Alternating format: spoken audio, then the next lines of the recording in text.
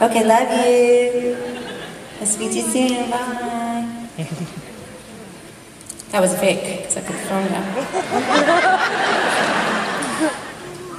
okay, um, so anyway, I, uh, hold on, I gotta tie this so I feel comfortable.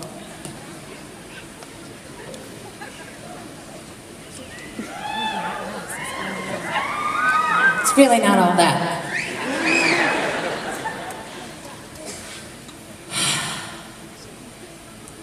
You just take a breather, right? a breather. Um, so I was thinking, this isn't something I'd normally say in the show, but since it's intermission, I figure I'd share it with you.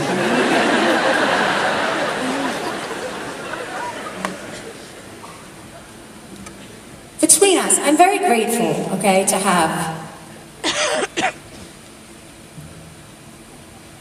to have some really amazing songs. They're very empowering. They helped me through times in my life. I know how important they are for other people. I think they're beautiful, beautiful songs. Defying Gravity is one of them, right?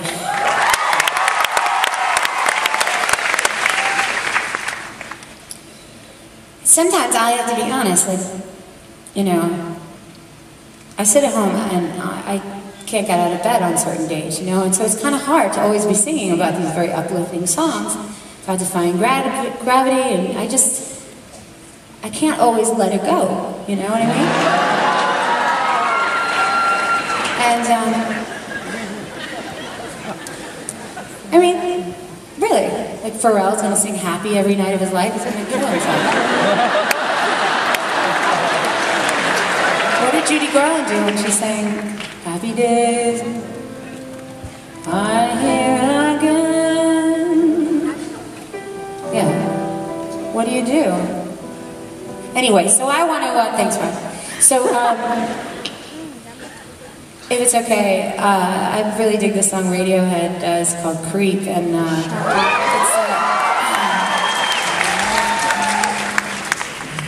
This is a joke. I know my life is good, I know, but sometimes shit sucks too, you know, and uh, I have a really hard time getting up out of bed, and I don't want to act like it's always so easy to just like let it go. So um, this is my anti-empowerment song.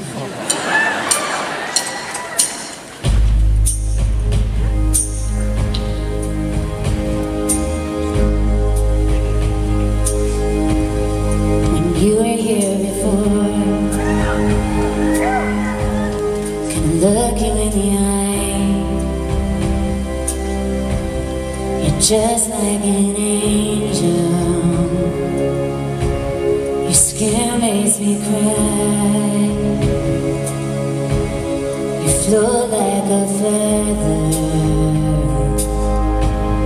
in a beautiful world.